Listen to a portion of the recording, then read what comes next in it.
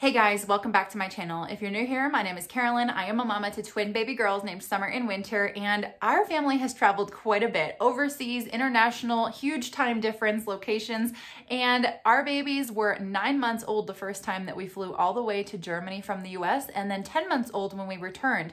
Again, we did the same trip at 14 months old, and they did so well with the overcoming jet lag portion of that. So that's why I wanna share with you all the things that we did that worked well for our babies and for us as parents to overcome jet lag on these trips because it is not always easy, but I'm going to share with you the tips that I can best recommend to help you get through it as smoothly as possible. As always, don't forget to subscribe and like. It definitely helps me grow my channel so I can make more of these videos for you guys. Let's get right to it.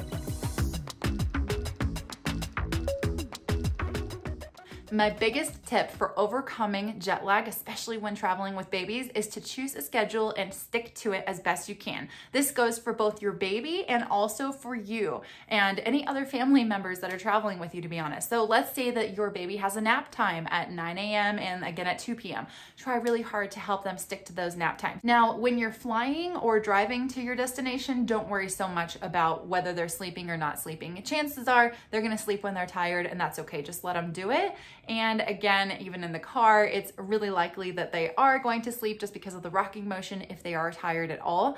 But keep in mind that once you get to your destination or once you get home, wherever it is that you're going, that is the time that it actually begins and you can really start trying to implement that schedule. So let it be flexible on the way there. Once you get home, there are a couple different things that you can do, whether it's you need to stay awake longer or if you need to go to bed earlier. So if you need to stay awake longer, use sunshine to your advantage and food and environments and any type of thing that you can do to bring yourself energy and feel entertained or just whatever it is. You know, even for your baby, let them see all the different different things around them. Let them take in whatever stimulation is going on. If it's just being outside and seeing the sunshine, sometimes that can be a huge help. Or maybe it's trying new foods or just checking out a new space. Sometimes just seeing a new area will help them to be interested in the things around them and make them feel a little less tired or even just distracted from being tired. And I'm not saying that you have to stay up all the way till the bedtime on the very first day that you're there.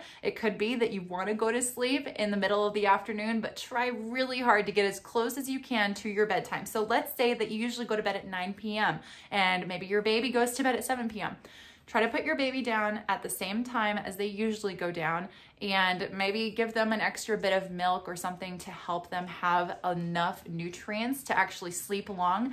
Chances are that they are going to wake up in the middle of the night, which is fine. Just have a bottle ready or have whatever it is ready that you need to do. Be ready to go and comfort them for a little bit and then go back to bed. It's kind of like sleep training all over again for babies. But for you as an adult, you also need to make sure that you go to bed at the right time. And so let's say, like I said, if you went to bed at 9 p.m. or 10 p.m. for a usual bed bedtime. Let's not go past that. So here's one of the biggest issues is once you have stayed up long enough, yay, you made it to the bedtime, that's awesome go to bed because there are times when I've been like, oh, well, now I feel so awake. We could just stay up even longer. You know, we've done such a good job of staying up. Why don't we just hang out until we feel like we really want to go to bed? No, no, no, no.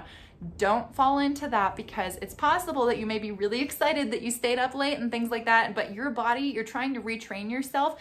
And if you let yourself train the sleep cycle too much, you'll end up training yourself on a time that you don't want to go to sleep at. So, for example, what I'm trying to say is don't stay up all the way till midnight just because you can, just because you are awake.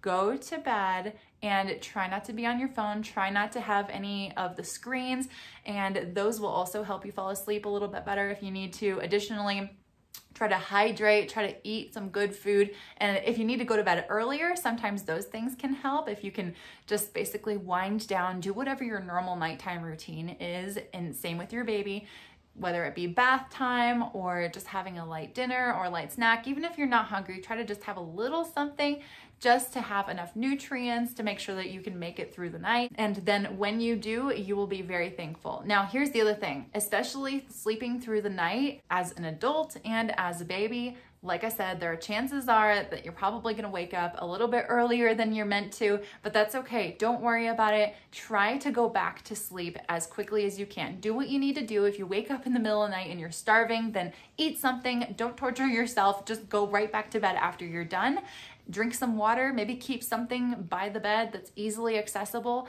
And then once you're done, go right back to sleep and then you can make it until the morning. The other big tip I have is don't take naps during the day if you don't usually take naps during the day. I know it can be difficult, especially if you're really tired the next day, but for me personally anyways, I try really hard not to take any naps during the day. And if I do, I limit myself to a very small short nap, like a power nap, don't go over an hour, hour and a half, because if do, then you're gonna set yourself back and you're gonna put yourself in a different time zone, making it that you won't feel tired when it's time to go to bed. And then that's just gonna really mess you up. So Here's the thing if you're coming back from a major international overseas trip, like the type of trips that we've gone on with our twin babies, it usually takes us between five and seven days to get completely back on track where they are sleeping all the way through the night from 7 p.m. to almost 7 a.m. every single night. And that's normal for us. That's normal for our twins. And it was when they were nine months old, 10 months old, and again at 14 months old. All the times that we've traveled, they have been able to get back on that schedule within one week. So, similarly, it actually took us even less time as adults to get back on our normal schedule. It can be difficult to get back on schedule, especially if you're getting up to help a baby in the middle of the night when you're not used to doing that. Like I said, if you're used to your baby sleeping through the night, it's harder. If you're used to your baby not sleeping through the night, then maybe it's not as hard because you're used to that. Bottom line, just try really hard to focus on that schedule. And like I said, use sunshine to your advantage, use food and environments and people and whatever activities that you can think of to your advantage to get you up at the right time and help you stay up until it's time to go to bed. And then really try to honor those times. And even during the day, if your baby doesn't want to nap during their normal times, just keep trying to get them as close to that nap time as they can. It's possible that they wake up early. It's possible that they don't want to go to sleep yet when it's time, or maybe vice versa. Maybe they are really tired and it's just like not quite time yet.